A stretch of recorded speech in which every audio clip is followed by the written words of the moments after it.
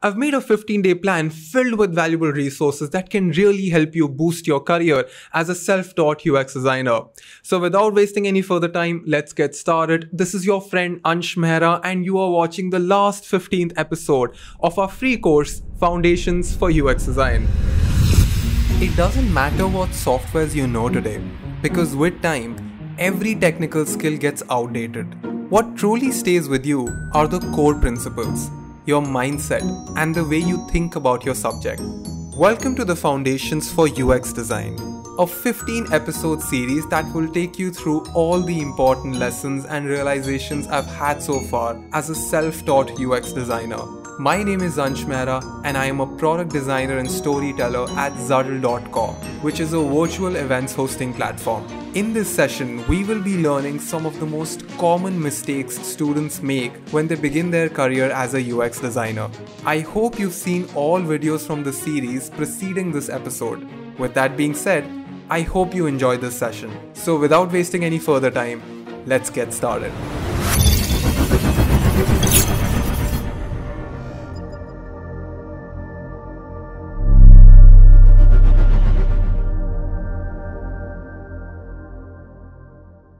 So let's figure out what will we learn today. So of course, I have made a Notion document where I have made a 15 day plan and for every day you have one resource. I will take you through each and every single day. Then we will do a quick revision, just a recap of what we've learned so far in the previous 14 episodes and just a quick discussion of what will happen once you finish this course. What is the next series that I will come up with? So as I mentioned earlier, here is a free Notion document which has a day wise plan. For day number two, there's a fabulous article on Figma's website on five five ways to level up your prototyping workflow in Figma, right? So prototyping is a skill that we've regularly mentioned. We haven't done any practical examples, but I think this article can really give you those practical tips, five really practical tips to improve your workflow.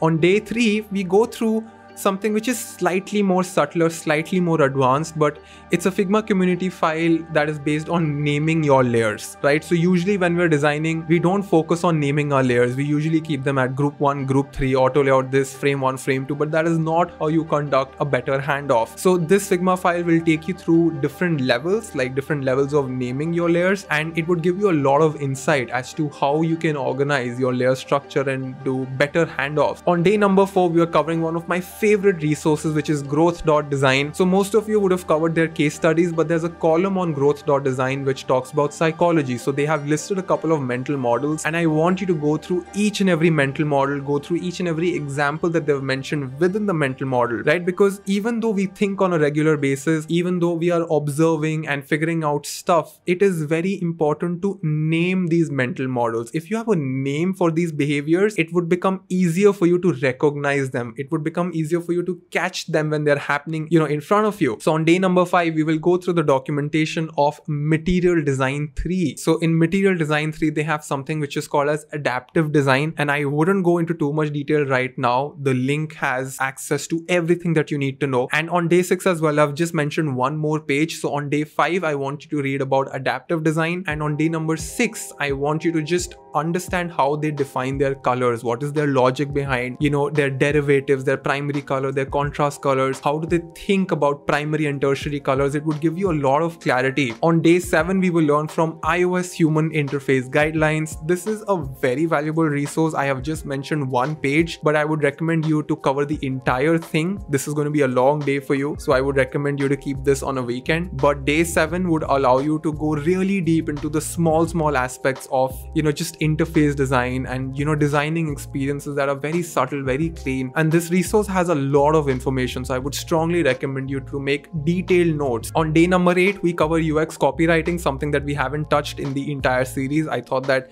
it's very important that we cover copy.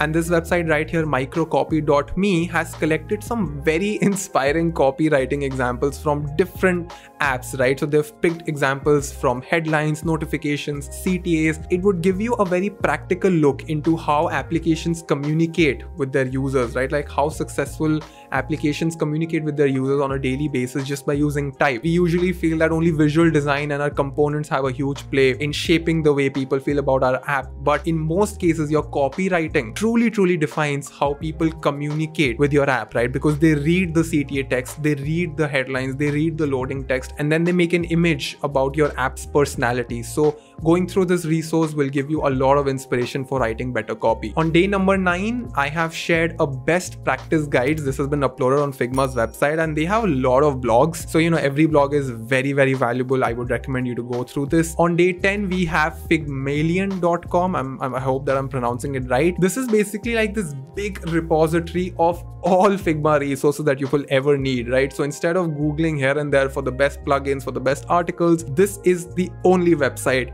you need. Now on day 11, we will go towards the advanced topics, right? Which is design systems. Before we see practical design systems, we have to build our foundations, right? We have to figure out the theory behind design systems. So this website right here, heydesign.systems is a wonderful, wonderful curation of resources. It has like a watch list, it has a reading list, and I would recommend you to just go through whatever you find interesting because on day 12, we will go through practical examples of design systems. So designsystemsrepo.com is actually a gallery, a curation, of a full collection of all the design systems that we see online, like all the popular ones, right? And I want you to go through these design systems and make notes as to how they're doing it. Just, you know, collect inspiration. I don't want you to go really deep into them. My intent with this 15 day exercise is that I want you to see that these resources exist. So once this 15 day sprint is over, in the course of next, you know, six, seven months, if you have a doubt, if you have an issue, you would have a repository to look into. You would have these places to look into. You would not just blindly search on Google. You would know that, okay, this is where I can take some inspiration. Now on day 12, we looked at the entire design system, but on day 13,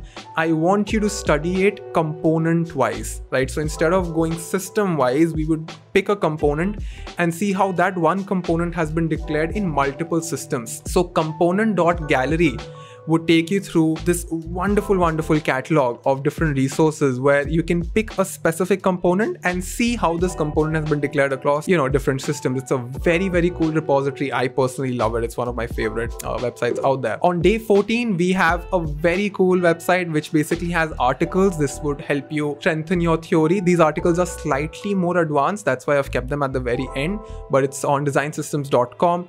And on day 15, there is this one person that I want you to follow, although there are many other people that you should follow, but there's one person that I truly, truly admire, and that is Danny Sapio. I hope that I'm pronouncing his name right. His website is dannysapio.medium.com, and this is the Medium link. And please read everything that he's written. I'm telling you, there's so much value put out by this one single person. You will thank me and you will thank him forever. Now, I really want you to take this 15 day plan seriously. I had a lot of resources resources, but there's a reason why I have positioned and scheduled these resources in this specific order. So yes, moving on, before I end this video, I want you to take a pause and look back and see what we have learned. Go through your notes. I would strongly recommend you to watch every single episode in this series twice, simply because there is so much content. There is so much of small, small stuff mentioned in my videos that you would miss out on them in the first watch. So I usually do this all the time. Whenever I find a course, whenever I read a book that I really resonate with, I make sure that I finish the entire thing twice. So trust me, you would thank me. You would realize that as you watch the same episodes again and again, you would find more things to learn from it. And uh, what's next? Well, I have been collecting some feedback. Now that this basic playlist is complete, I will move on towards more practical episodes. Uh, I will be uploading videos where we actually make apps, like make hands-on stuff. But until my new videos come, I would suggest you to just you know keep working on your personal project and start documenting whatever you have learned put them on a notion page and use that notion page as your resume if you have benefited from my course we are looking for testimonials we regularly upload testimonials on our social media page on our instagram so if you want to be a part of our testimonial promotional series please send me an email on anshmehra2498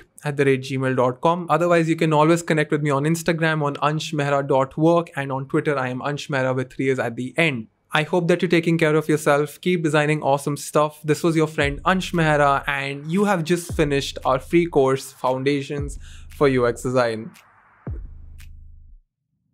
If you like this video, make sure you click on like and hit the subscribe button. I regularly upload videos on UX design, marketing and storytelling.